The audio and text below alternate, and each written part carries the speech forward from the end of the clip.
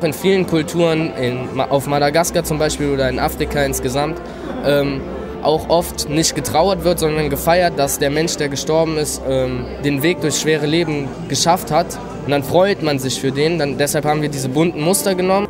Kultur des Todes. Der Umgang verschiedener Kulturen mit dem Tod, das ist Thema beim Kultcrossing im Bestattungsunternehmen Kuckelkorb. Schüler der Europaschule zeigen, wie sie mit diesem ernsten Thema umgehen. Der 16-jährige Niklas Brings nähert sich dem Thema Tod auf künstlerische Weise. Er besprühte einen Sarg und zeigt so, dass der Tod jeden betrifft.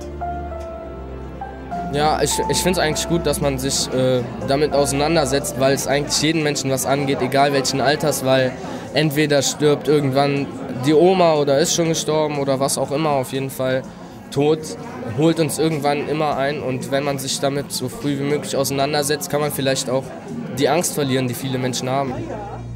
Kultcrossing bietet die Möglichkeit, Schule, Kultur und Berufswelt zu vernetzen.